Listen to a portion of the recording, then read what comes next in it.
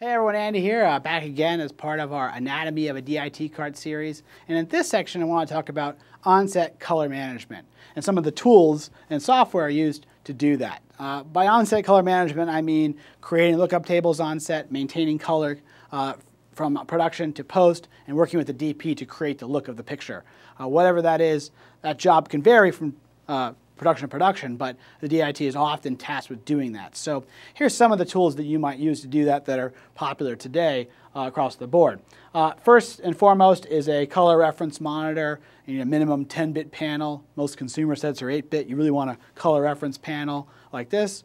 10-bit uh, minimum. This is a Sony uh, PVM OLED monitor, very, very popular right now. It's uh, uh, true blacks and very surprisingly accurate overall.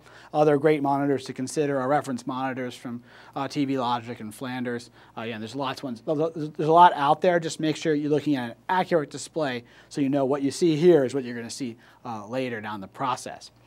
You also could consider a, a X-Rite probe like this one, or just a, a, a, monitor probe. There's better ones than this, of course, but a monitor probe to maintain consistency uh, on my monitors. Uh, I know some DITs will actually go around and calibrate a number of displays uh, regularly. Uh, so um, this uh, X-Rite i1 Pro 2 is very popular because it enables it works with a Sony monitor like this one natively to calibrate it. We actually have a blog on how to do that. Uh, there's also um, other software that works with it, like CalMan and uh, a variety of other tools that can work with this uh, to calibrate different displays. So again, consider that as an option to maintain consistency. So after that, after I get my calibrated monitor, well, what else do I need? Well, I need a lookup table box, a piece of hardware that'll actually interject a lookup table into my uh, chain, right? So right now my video system, I have a log signal here. I can flip over to a a LUTed image here. And that's happening because I'm using a piece of hardware like this one. Uh, HD Link is a Blackmagic piece of hardware, very popular uh, and fairly inexpensive, uh, which allows, again, SDI to come into it. A LUT can be applied via USB here, via software, and back out again. So the LUT box applies a lookup table to the whole system. I like that piece of hardware. It's nice, uh, very popular, uh, but I really like this other piece of hardware called the Fujifilm IS Mini. A very cool piece of hardware. Uh, it's more accurate than the HD Link, a little bit more expensive, but uh, it has tons of tools in it, which I really love. We'll do a little breakout on that in a little bit. So the IS Mini uh, and the HD Link are controlled via USB connecting you to a piece of software like this one called uh, LiveGrade.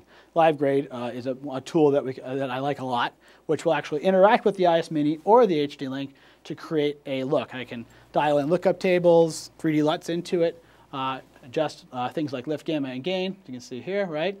Uh, and output lookup tables for post. notice that I did interact with it with this panel here, which is a tangent uh, element TK panel. This is a single small panel, which I really like. Uh, you don't have to use that. I just think it's really nice. It looks pro and gives you some nice subtle adjustments. You could use a mouse, of course, as well. I just really do like this particular little, little panel. So uh, that's a great option as well. LiveGrade, again, works with both of these pieces of hardware. Uh, other tools you can consider uh, are uh, Link Color, which is great, and actually the IS Mini, which I really do dig, also has a piece of software called the uh, IS Mini Manager that comes with it. Uh, we'll show you more of this in a little breakout here, but this tool uh, can, works very similar to uh, LiveGrade now, where you can load in lookup tables, adjust, again, things like lift, gamma, and gain, and, and, and, go from there. So tons of options out there in terms of software and hardware. My favorite are right now the IS Mini, LiveGrade, and the IS Mini Manager all working together. So uh, color management on set is an evolving thing, of course. There's lots of tools out there, uh, but these are some of the ones that we all like. I see often uh, in different productions. So uh, that's pretty much it for now. Uh, thanks for watching. And in the next section, we'll get into some other tools, data management, etc., that you might see on set. So stay tuned for that, and see you next time.